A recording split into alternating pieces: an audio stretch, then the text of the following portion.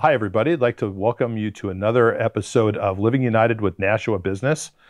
You know, the premise for this show is talking with local businesses from the greater Nashua community about, you know, about what they do, a little bit under looking underneath the hood. And today you're going to understand why that term is particularly poignant. But we'd like to talk with businesses about their history, uh, you know, what sort of customers they work with, and, and also in particular how they're getting involved in the community. Um, I always like to get to that. What's the business proposition for giving back? So everybody you see on the show is going to be a business that's heavily involved also in giving back to the community. I'm super excited to have with me today two of my friends who I've known for a very long time, our friends from Merrimack Auto Center, Chad Tanguay and Brooke Griffin, third generation owners of Merrimack Auto Center. Um, so welcome to the show, guys. Thank you. Thank, you for having us. Absolutely. Now, um, let's just start out with a little bit of the history, if you don't mind. Merrimack Auto Center is uh, was started by your dad. Is that right, Chad? Started by my dad. Actually, it was a um, Philip 66 station in 1972 that he started. And in 1977, we became Merrimack Auto Center. Okay, and where were you back then? So right on, um, so right near, I'll give another business, S&J Motors. A lot of people know they've Yeah. been in business for a long time.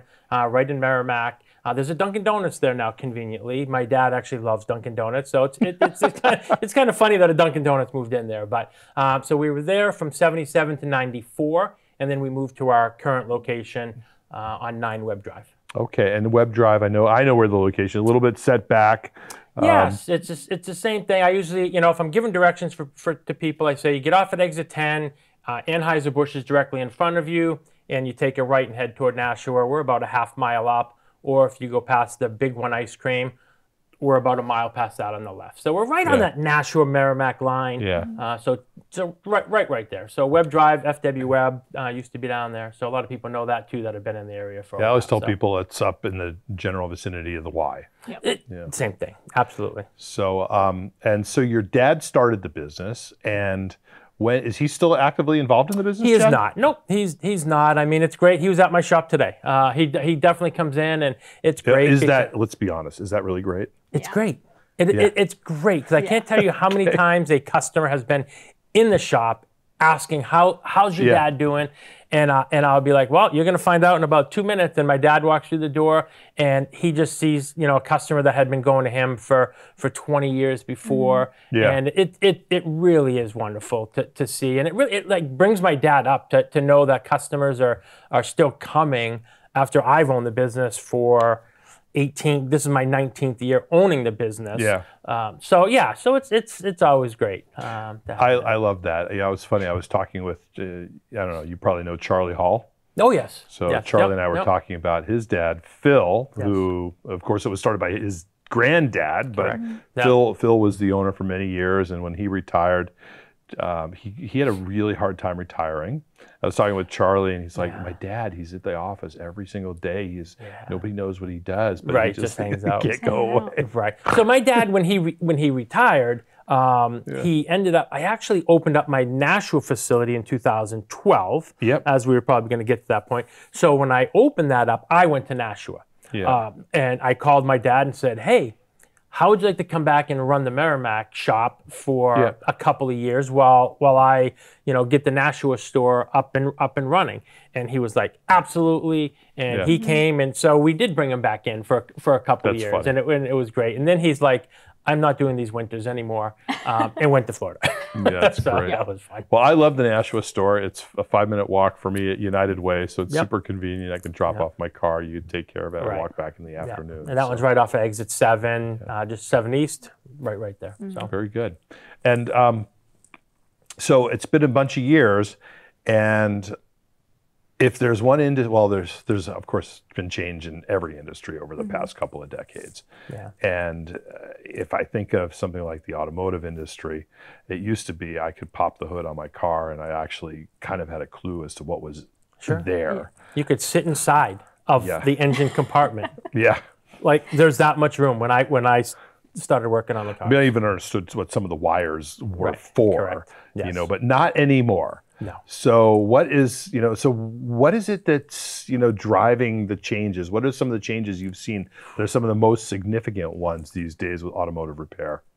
I mean, it's not every day that somebody drive, walks in with a, a 30 year old car, right? Yeah, So, no, no, definitely the electronics. yeah. um, you know it you know back in the when i started you know we had um, timing tools that we just look at it was the timing light that you'd look and you'd just you know turn turn the carburetor just a little bit you could adjust it and everything would change now it's all done by computer so we we hook into the into the computer system of the car and we make changes you know that way Yeah. um, everything is electronic. Uh, you'll know that. You have sensors as you're going down the road. I mean, there's buttons you can push on your car now that will follow the car in front of you.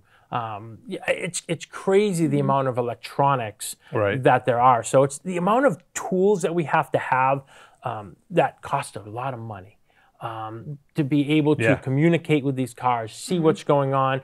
And they're probably all different between different models they're and brands, right? Yes, you have to get it. You have to get different um, components that that read different vehicles. Correct. Some Mm-hmm. some of them are, you know, your Chevys, your Fords, your Hondas. Those are all the same. But when you start getting into anything um, out there, your BMWs, your Audis, those you know, those are a little bit different that Mm-hmm. Yeah. you have to hook to. Interesting. Yeah. And Brooke, so you're you've been involved since you've been very little, I imagine. Yeah, I mean, very little. I started coming in and Yeah. working for my dad, just like cleaning the shop when I was a kid because I wanted to be there as much as I could. And because he probably didn't have to pay you very much either. Yeah. I mean, I, re- I remember this from my own daughter. yeah. I mean, he had to like pay for me to like live, so he was paying paying for me in a lot of other ways. Yeah. Her, her Um, mom made me pay her to Well, live. I, I will say with daughters, you never stop paying for it. You might find a husband enough. and think you Yeah. got it. Yeah. You're still going to pay for it. Yeah, fair enough. But I started officially working there um, in 2012. Yeah. And then at that point, I was there coming in part time, working for the business, and I've now been full time at the shop for coming up on five years. Okay. So Yeah. we s- spent a lot of time together over the years. And Yes. figuring out a transition plan. I mean, I'm sure that you're now the general manager, right? I am. I'm the general manager you've, now. You've, you're officially the also the person whose voice you hear when you call up. Yes. That I think is big. Much better to hear voice, her voice than mine. So yeah, I mean, we're kind of just taking it one step at a time right now and figuring out what's working working best for us, and it's definitely a it's a continued discussion for us. That's As always. fantastic. As always. Well, I, you know, I, I, uh, I, I will feign a little. I will admit a little bit of jealousy because when we sold our business, before we sold our business, um, we, I had this conversation with my daughter, and she's like, "Oh no, I'm out of here." Like that was not going to Yeah. happen. So it's, uh, it's really great that you guys are doing this Yeah. together, and I think that's cool. I mean, we're, we're anxious to see what's going to happen in the automotive automotive Yeah. industry. I mm-hmm. mean, with all the um, you know these EV mm-hmm. vehicles that are going out, you know, I don't I don't see gas engines going a- away, mm-hmm. but I could see that in 20 years that 70 to 80 percent of the vehicles out there are EV and only 20 percent are gas. So I think we're going to see a huge change in the industry. I, you know, Yeah. so we'll we'll see. I mean, it, it's going to get really expensive. What to- about hydrogen? Ooh.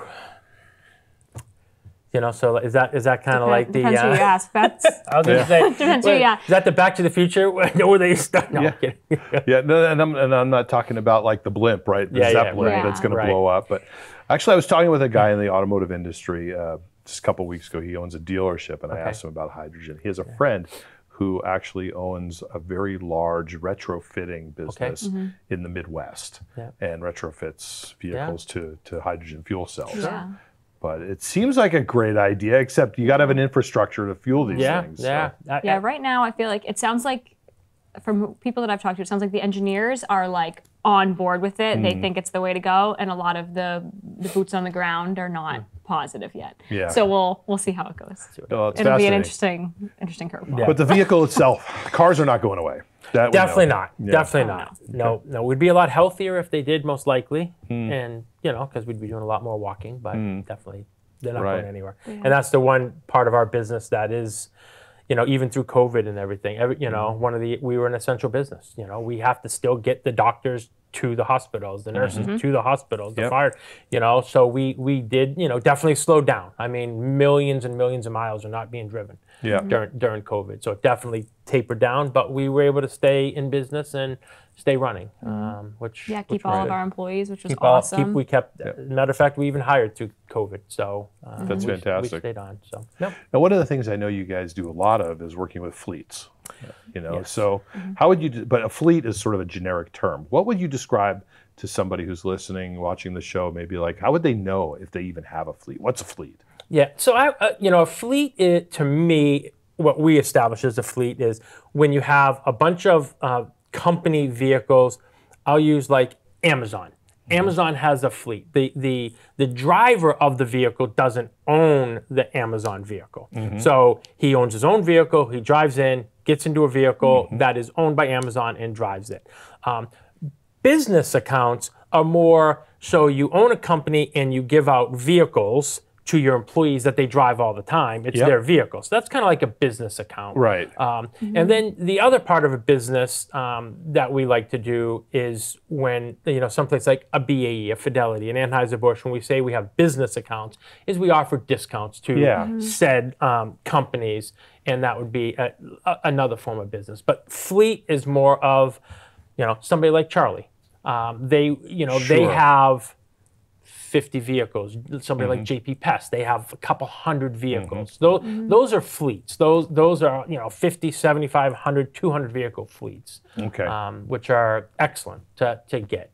So, I know one of the things that we've talked about over the years, which I find particularly innovative, is with your not your fleet accounts, maybe a little bit, but with your normal business accounts, where say like a BAE, the employee will bring they can bring their car to you, you can shuttle them back to work, you can pick them up later. Yeah. You know, it just makes for such a convenience factor. Do you do that for both of your locations? Yes. Well, we have two. It, it's it's kind of weird, but we have two shuttle drivers in in Merrimack. Yeah. Just because it's a little bit bigger facility and we have a lot more shuttling, but we do have a shuttle vehicle in Nashua, um, and the driver for there actually goes to Mexico for three months. So we do have nine months out of the year a full driver that's there all the Yeah. time. Uh, but yeah, the shuttle service is is great. Um, customers really take advantage of that because you know when you got to bring your car somewhere and you're like, hey. Sarah, Joe, Right. can you give me a ride? Can you pick me up at the sh You know, and people will do it for you, uh, you know. But a lot of times it is a little bit of an inconvenience. Sure. So, so when they don't have to ask for that, and they just bring the car in and say, "Hey, I work at again, I'll use BAE because they're right down Yeah. the road from us, or, or wherever I work at United Way," and you know, absolutely, do you need a ride to work? We give them a ride. We call them up when it's Yeah. done. We go pick Yeah. them Absolutely. up. So it's very convenient. Yeah, we have it on the other side too, where we have people that work third shift and they come in right off work, come drop their car off, we drive them home, they go. Oh, sleep, that's a great and idea. their car's done again by the Yeah. time they're ready to go back to work again. Nice. Um, and so the shuttle is awesome for those people Mm-hmm. as well because the times that they need rides, their family and friends are in work. yeah. So it Yeah. kind of takes some stress off of them and allows that schedule to work. Well, they're always trying to get me to use the shuttle when I drop things off at the, Right. uh, in Nashua. Right. I'm like, no, like the five minutes. I'm not quite there yet. My age that I can't The walk do is good for me. It really is. I It get is in my good. steps for that, you know, that one day. at Yeah. Right. So we do have the waiting room Yeah. in Merrimack also. That And in um, Nashua, and, yeah. and in Nashua, the Merrimack one's a little bit bigger, a little bit more nice. to the side. You Yeah. know, it's off to the side. Where the Nashua one, unfortunately, I can only do what I can do in the space. You got that I- dogs in that Merrimack. and We we, have the dogs in Merrimack. Most days they weren't here there today, uh, but most days, yes, we have either my two dogs or sometimes Brooke My will bring in her dog. Oh, you bring um, your dog now too? I do. Yes. Yeah, he he's either with me at the shop or goes to daycare because Yes, so- he's And, spoiled. and it's fun when customers walk in and we're like, "Do you have an appointment?" They're like, "No, just saying hi to the dogs." They come in, they say hi to the dogs, and then they leave, and we're like, I love that. It's like, okay. Oh, they'll, bring, they'll bring them a treat. They'll, you know. well, we used just- to have cu- we used to bring our dogs to the store too. We had people Yeah. that came by Yeah. just for the dogs. Also, like, And are I'm you going to buy something here? You know? No. I'm like, I like, dogs. I like coffee, donuts, something, you know. Yeah, So yeah. They're like, you're fine, you know. so it's true. al- it's always nice, you know. great. People love. They they just like that when they come in. There's just that that we really try to put out that atmosphere. Um, It's a family it- business. it's a family business, and we want you to feel comfortable. You know, we really, you know, being a dad of two very strong, independent daughters, a wife who's very, you know, I want females to be able to walk in and Mm-hmm. feel comfortable, never talk down to them, explain to them. I find that they ask the most questions. Yeah. Um, you know, I think that when it comes to men, they're like, you, if you try to explain something to them, they don't want to tell you that they don't understand because they're a guy, they should understand a car. That's not the case. I- that is not the case. A hundred you know? percent agree with you, so yeah. they won't ask questions or they're afraid to make the sound Yeah. that their car's making. Where a female come in and she'll make that screech sound, and I'm like, I know exactly what that is. Where the Mm. guy just is like, oh, it's just a screech, and you're like, Can you be a little more More descriptive? description. you know? So Yeah. so it is fun. So we not that we necessarily cater to, to, to females, but we do. I, I do like having them come in because I You just feel have like a lot of experience teaching. uh, like talking to them, making them making Right. them feel comfortable. You know Right. Yeah. that that you know, and explaining to them what's going on. Yeah, it's interesting the whole culture around cars, and it is eh, there is this tendency for it to be like a man-dominated thing, but but in the typical family, I mean, I know about, know about your family, my family, I make very few of the decisions, so Yeah, it's really important that the females in my life are comfortable with the decisions that get made. A- absolutely, Yeah. absolutely. So, So, Brooke, I wanted to ask you about um, community. Yeah. You guys have been just great community partners with us at United Way. Thank You you. know, you support our days of caring, you support our baby shower, you you know, you come as volunteers to some of our events. Um, but you do other things as well in the community. I'm sure. Maybe you want to share a little bit about what are you guys passionate about, you know, in in Nashua about making this place better. Yeah, absolutely. Um, so I think the like the really the biggest like immediate community thing that we do is we do try to do a lot with the schools. Um, my my sister's a teacher. My mom is a teacher. Um, education has always been very important Yep. to our family. Um, so it's constant that we're trying to just give back to the schools, donate to the different athletic programs. We're a big sports family. Um, so doing anything we can, like I. I graduated from high school, didn't have a need for catcher's gear anymore. So Yeah. give it to the school. Like, get it into the Nashua community. Let those Mm-hmm. kids have that equipment so that they can continue to be a part of a sport that I Yeah. loved. Um, and we just try and do that as much as we can. That's fantastic. So yeah, I think the And schools need so much help. I mean, the 100%. resources are pretty strapped in the schools. Yeah, and when you getting hear worse that and worse they're each year. when you hear that they're closed, you know, shutting down something in the Yeah. school because they just didn't have the funding for Yeah. it. You know, you know, there's there's kids that wanted to do that, so Yep. to try to Right. you know do that. So we try to yeah support the Yeah. fundraisers. I can't Good. you know a lot of times the kids will come in with the uh, you know you get the little coupon books or something Mm-hmm. like that. So many so, coupon books. So I'll be like, I'll take ten. and they're like, what? Like yeah. I'll just I could just give you the two hundred and fifty dollars to help donate. Yeah. Just- I'll take and then I pass them out to Yeah. other to other Yeah. people. So of course. um, it's just a way we, you know we get our name on their shirts and stuff like that. We've you know Mm-hmm. so different stuff like that is is always good. Okay. Yeah, that's one of them. Good. So you do stuff in the schools. Yeah. Um, the other one that we, that I'm a part of that he is kind enough to fund for me. Well, um, that, that's, that's good too. yeah, is the 100 Women Who Care. Um, Lovely. Wonderful. So I'm a part of that organization, Yeah. Mm-hmm. which is awesome. So we meet four times a year and we get together, have three different charities come in and Yeah. present to the group. Um, and then we vote on which charity gets Yeah. the $10,000 check. And the other two charities that are there, they split the remainder of the contributed donations, which typically ends up being at least $1,000 Yeah. per organization. A lot of times it's more than that, but it's usually at least that. Um, and that's been absolutely awesome. It's been a great way to learn That's about some different charities that are around and different organizations. Yeah, I know like Marguerite's around. Place has been a big Marguerite's recipient Place, there. Yeah, absolutely.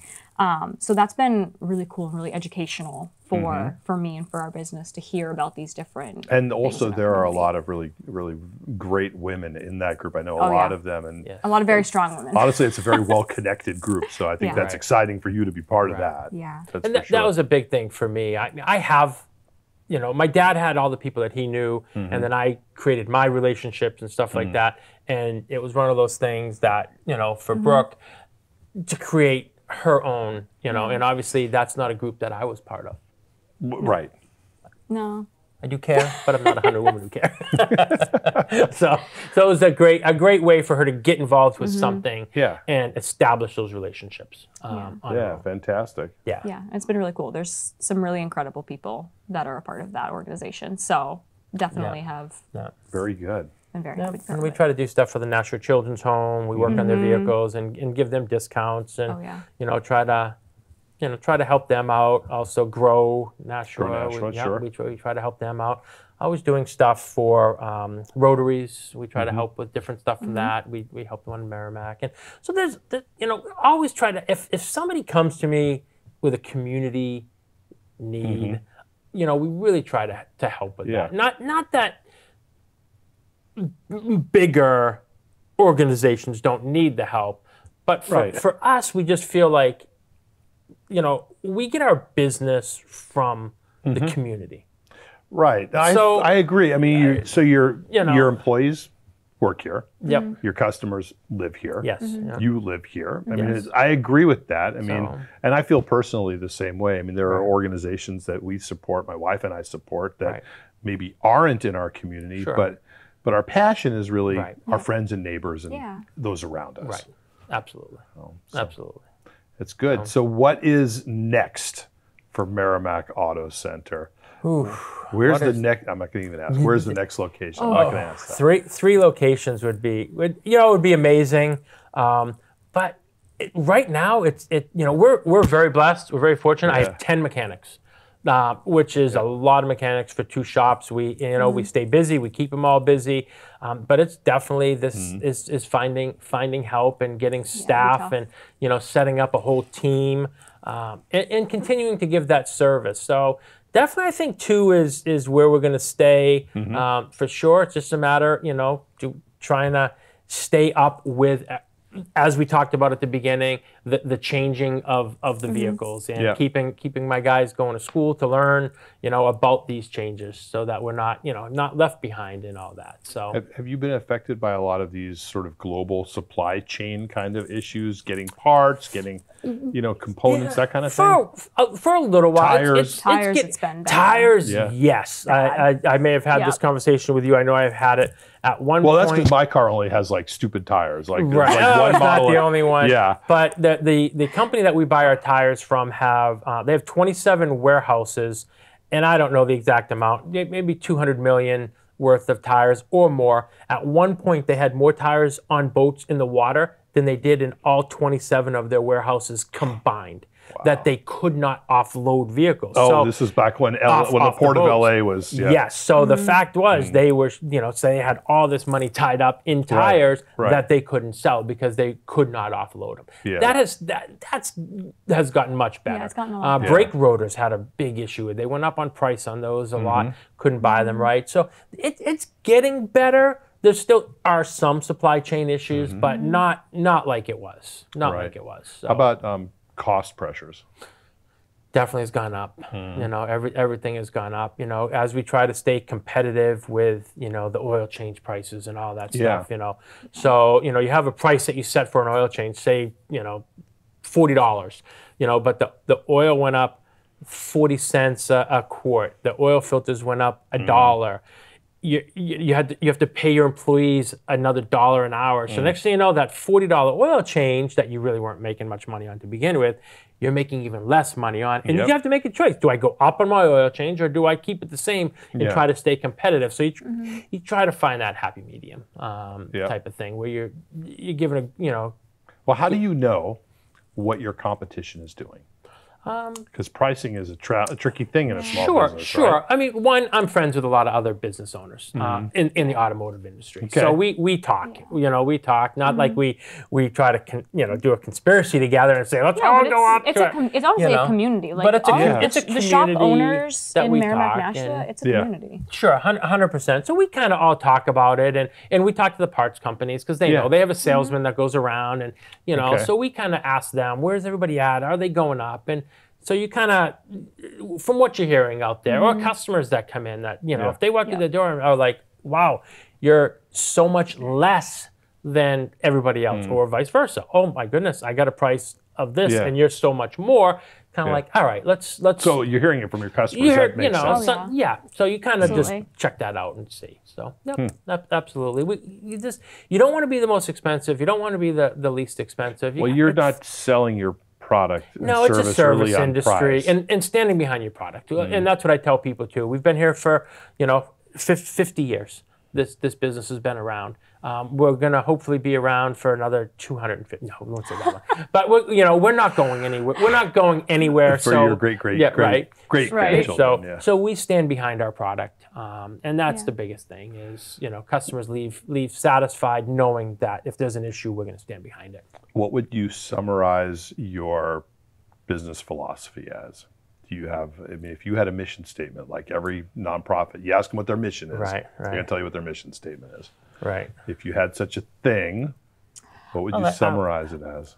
I have kind of one, but I'll let. I mean, the like the like the basic line that I always use is that we are three generations and we've been treating you like family since 1977. We want everybody to come in our doors and feel like they have been treated fairly and respectfully and that they received a top quality fair product and service. Yeah. Um, Yeah. So that's really it for me, family and quality. Yeah, I mean, I would say if I was going to say, well, well, when I send somebody over to Brooke and Chad, I'm going to say, you're going to get honesty. You might Yeah. not love what you hear, but you're going to get honesty. That's fair. They're going to care about your safety. This is why I send my family to you Mm-hmm. because I know you're going to tell my stupid daughter that she needs to fix her car, and she'll listen to you, and she Right. won't listen to me. She'll listen to you though. Right. So Yeah. Isn't that isn't that the way though? My wife says that all the time. Someone could tell me something, I'm like, uh huh, and then somebody else tells it, I'm like, oh, okay, and she's like, Yeah. I just I just said the same thing. it's always You're a hired so, gun, yeah. man. You're a so, yeah, consultant. Yeah, so yes, we we do get that from customers, Mm. uh, that that Yeah. type of stuff. So, but excellent, yeah, but honesty, Hon- honesty, you know, work, uh, just yeah, being That's honest is- fantastic. Is, huge. So, Well, guys, I told you it was going to go by fast, and we are out of time. But I do have a gift for you, and um, of course, and this is the, the colors are not meant to imply gender. However, That's however, good. that's yours, Chad, and it's black, dark navy Yep, blue. per- But yeah, this works. is a girl hat, Brooke. I love it. It's got like a thing for Oh. a Ponytail ponytail hold. That's actually fabulous. Isn't that amazing, I love right? I know you have long hair, and I'm guessing you wear a that's ponytail from time to time. Thank you. So thank Much you. appreciated. And, You're and Thank you uh, you know, guys, we're just so appreciative for the support and the partnership. Every way you, that you give back, like you said, giving back to schools, you know, partnering with United Way, getting involved with the 100 Women Who Care. These are all great ways to partner. And, uh, you know, maybe it will be another 150 years. That would be pretty, pretty, That would be awesome. terrific. but we love partnering Yeah. with you. You Yeah. make it. Uh, E- easy to, to give to the United Way. with Oh, well, are. thank you. So we appreciate you. Thank you. I appreciate that. So, uh, so thanks. So you've been listening to another um, episode of the United Way Show, Living United in with Nashua Business. Uh, I hope you've enjoyed this. Listening to our friends from Merrimack Auto Center. We'll be back in a couple weeks with another episode. Thank you very much.